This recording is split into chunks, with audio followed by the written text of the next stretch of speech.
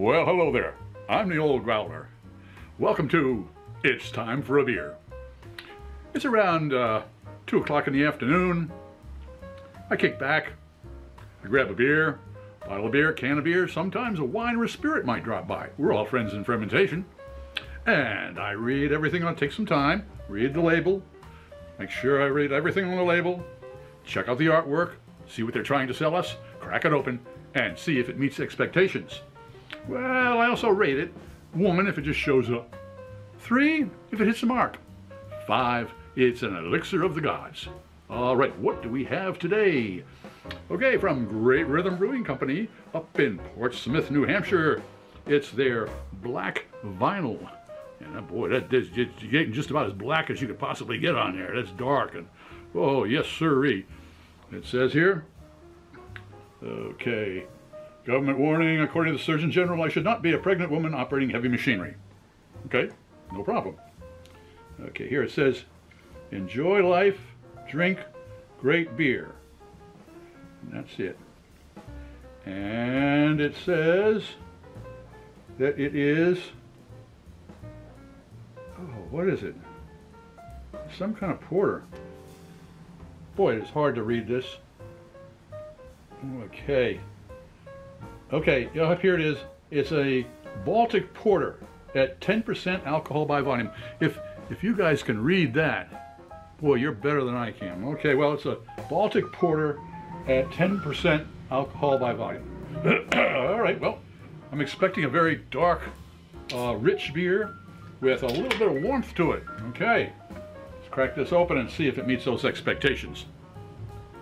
Well, that's practically a that's practically a stout, except that it's clear. All right. Oh, it's got the nice porter head. Look at that.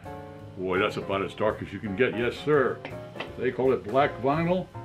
That's what it is. Well, it looks like black vinyl. Well, uh, uh, not black vinyl, but it's a, a Baltic porter. looks like a Baltic porter. Let's see if it tastes like one. Cheers.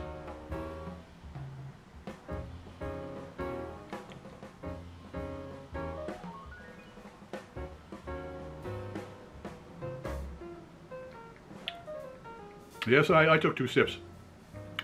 It's around 2.30 in the afternoon on a Thursday. My taste buds were on siesta. They had to be woke. They're woke now.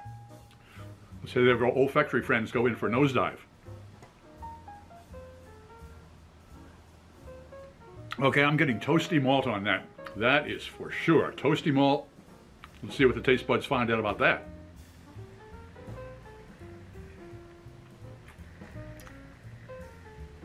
Ooh. It's a full body, all right. Big mouth feel. But it's not, it's not dense. It's, it's rich, but not dense. And there isn't a gritty taste to it, as with kilned uh, malt. So it's not kiln malted. It's a very nice balance on the malt flavor and the and the and slightly bitterness of the hops. And the hops definitely are not overpowering, but they are there especially towards the end now. Yeah, it, this is a this is what I call a five second beer. It takes you about five seconds for your taste buds to figure out what's going on and for your brain to figure it out. All right, well, does Black Vinyl from Great Rhythm Brewing Company in Portsmouth, New Hampshire meet expectations? It certainly did. How would I rate it? Well, definitely better than a one. It certainly did better than show up. Three? I it hit the mark a little bit higher than that. I'm gonna I'm gonna go with a four on this one. If you enjoyed this presentation, click on the subscribe button and the bell. That way you won't miss any of our presentations. A thumbs up would be great. Share us with your friends, and a comment would be really appreciated. I'm Pete LaFrance, the old growler, looking forward to seeing you next time when it's time for a beer.